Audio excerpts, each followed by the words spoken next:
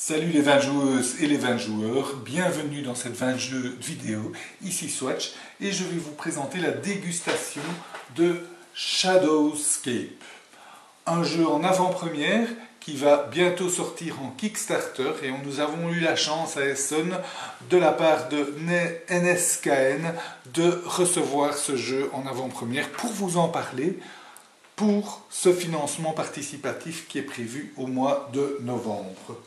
Donc, Shadowscape, qu'est-ce que c'est? C'est un jeu de donjon classique dans son idée, puisque on va déplacer nos héros dans un donjon, ils vont rencontrer des bébêtes qu'il va falloir tuer. Comment ça se passe? Chaque héros a une carte héros avec ses capacités propres à lui, donc chacun a un héros euh, différent. Euh, ensuite, chaque héros a quatre cartes actions à sa disposition. Chaque héros aussi a des cartes actions différentes. À son tour, on peut exécuter deux actions principales et deux actions secondaires. Les actions principales, c'est choisir une des actions d'une carte action, la réaliser et ensuite la retourner parce que de l'autre côté il y a une autre action et la taper pour dire que on ne peut plus l'utiliser à ce tour-ci. Quand on a fait une action, on peut en faire une deuxième, même chose, on la choisit, on la retourne et on la tape et on fait l'action. Qu'est-ce qu'il y a comme action? Les actions se passent principalement dans le donjon. Donc ce sont toutes des cartes labyrinthes avec chacune certaines particularités qui sont mises au hasard, un plateau donc modulaire. Première action qu'on peut faire, c'est se déplacer. Ici, vous voyez le petit héros. Le petit héros peut se déplacer. Quand on reprend la fiche héros, on voit de combien il peut se déplacer. Ici de 2. Donc, 1, 2 par exemple. On va plutôt aller là dans ce cas-ci par exemple. Ça, c'est l'action se déplacer.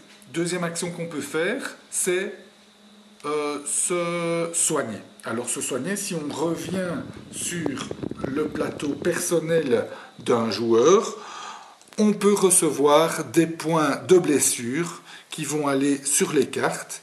J'expliquerai juste après comment euh, on reçoit les blessures pour se soigner, ben, on les enlève. C'est important parce qu'on ne meurt jamais dans Shadowscape, mais chaque point blessure sur les cartes empêche d'utiliser la carte action. Donc on doit se soigner pour enlever euh, les points blessure et pouvoir utiliser l'action en question.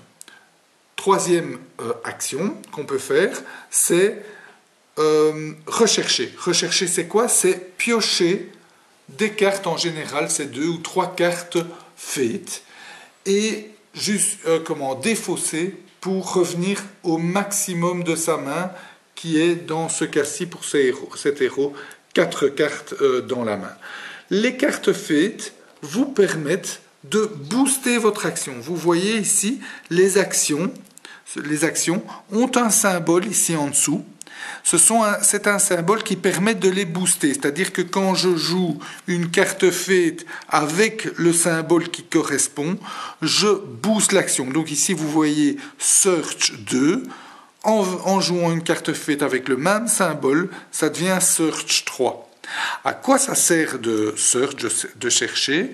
C'est que lorsqu'on est dans le donjon, on peut prendre un trésor en faisant l'action search 3 pour ce trésor de 3, ici search 4 pour un de 4 et il y en a de 5 également. Dernière action euh, qu'on peut faire, c'est attaquer.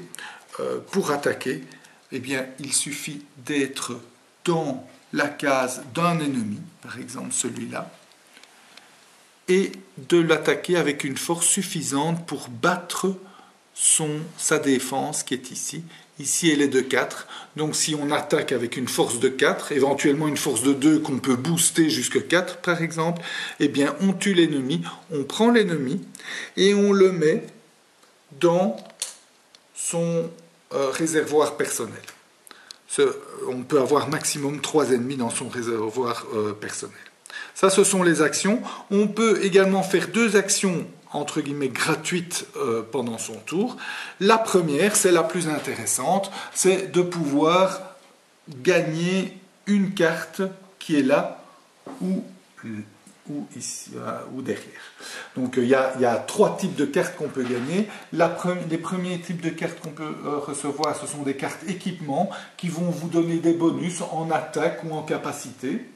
Deuxième type de cartes qu'on peut gagner, c'est celles-ci qui vont donner la majorité des points de victoire avec, vous voyez, un poignard. Le poignard indique le nombre de points de victoire que vous gagnez. Euh, et ces cartes vont donner le point de victoire en fonction de la condition. Ce sont une sorte de cartes objectifs. Dernier type de cartes qu'on peut gagner, c'est les cartes qui sont ici.